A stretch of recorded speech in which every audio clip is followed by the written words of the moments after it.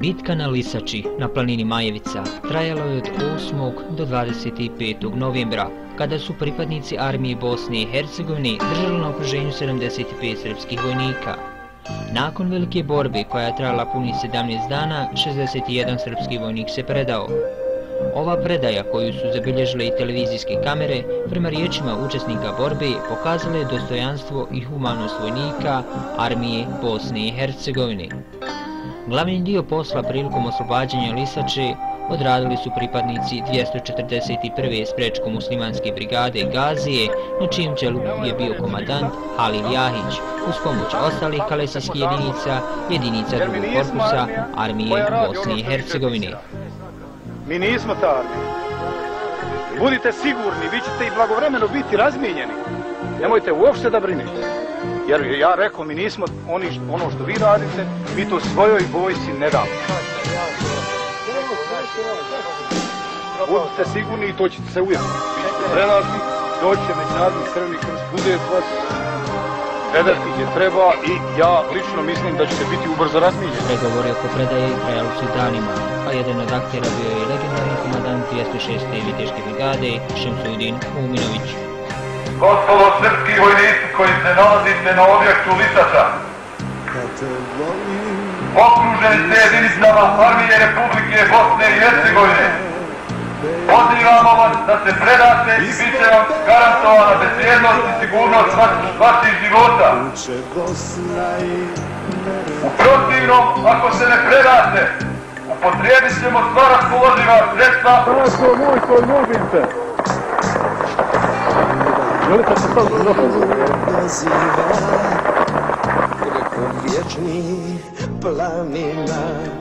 Polaganjem cvijeća na spomen obilježja, kao i učenju Fatihe, obilježena je još jedna godišnjica čuvene bitke na Lisači.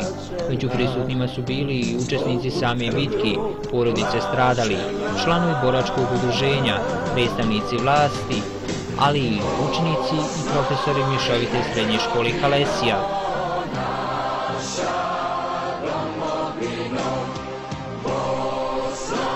Prisutnima se obratio i načelnik opštini Kalesija, gospodin Rasim Omerović, koji je istakao važnost ove bitke na Lisači i naglasio da nikada ne smijemo zaboraviti ovaj dan.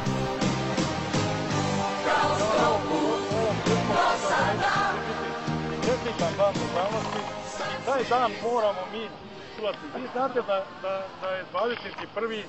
dan državnosti Republike Srpske. To je dan potpisivanja Daytona.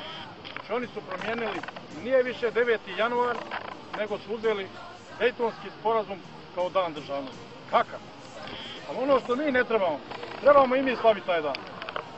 Znači treba, evo, mi u federaciji trebamo slaviti taj dan. Ne dati im da je to njihov dan.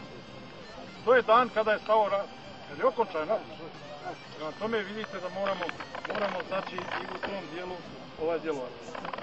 Zato vas molim, evo, danas je, hvala Bogu, veliki broj vas došao, veliki broj djece je došao i još jednom vam hvala svima da ste mi zdravi i živi i ako da svake godine posjećujemo dok smo živi ovaj dio ovdje i da evo, dragi Allah, sačuva ove koji se borili na ovom platovu i omogućili nam da mi danas dolazimo.